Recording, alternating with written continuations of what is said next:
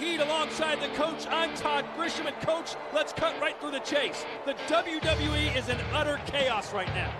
We always never know what's going to happen, but this week, that's exactly what happened. We had no idea.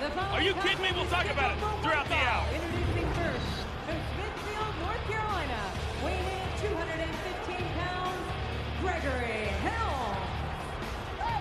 Whoa, wait a minute.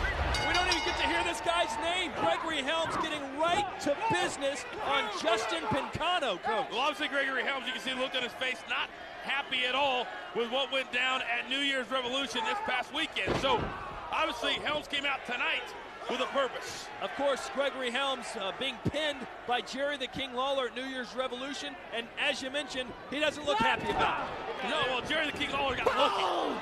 Gregory Helms dominated that matchup.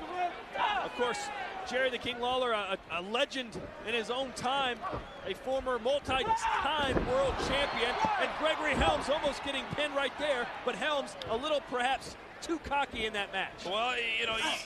maybe he was a doing, little he was bit. doing commentary maybe, in the match. Maybe a little bit. Ah! Whoa, boy! Well, certainly not cocky this week, and not cocky in this match. Gregory Helms has a chip on his shoulder, and I like that. Gregory Helms is absolutely destroying this guy. Justin Pincano does not know what hit him. I mean, this is truly amazing, the attitude with which Gregory Helms came out this week. And maybe he's taken a lesson from other guys, such Yeah. as Edge, such as Kurt Angle, who have taken things uh, upon themselves to better their careers.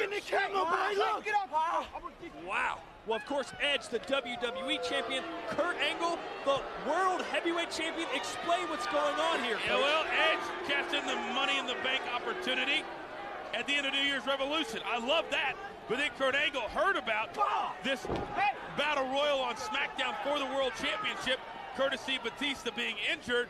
Kurt Angle decided to stop by, and wouldn't you know it, Kurt Angle's the new world champion. Oh, boy, what a clothesline from Gregory Helms.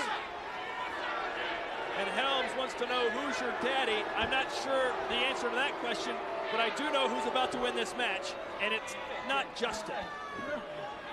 There is no feeling sorry for this young kid in here tonight. Oh, It's all about sending a message and letting everybody know that Gregory Helms has arrived. Helms going for another suplex and nails it. That's two in a row, and you've got to believe Helms can end this anytime he wants to, but he simply doesn't want to. Maybe he doesn't want to. Maybe he uh, Three in a row. wants to do three suplexes and now finish the young kid off. Well, physically, Helms has never looked better in great physical condition. Is he all there mentally? As you saw against Jerry the King Lawler. Wait, wait a minute. What is this? Oh my! A running enzuigiri, and that's gonna do it.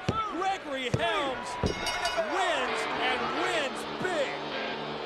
Here is your winner, Gregory Helms. Well, there was no doubt in my mind, and I don't think anybody else out there watching, that Helms came in tonight not to play ha-ha, not to be cocky, not to be on commentary with us. He came in to send a message.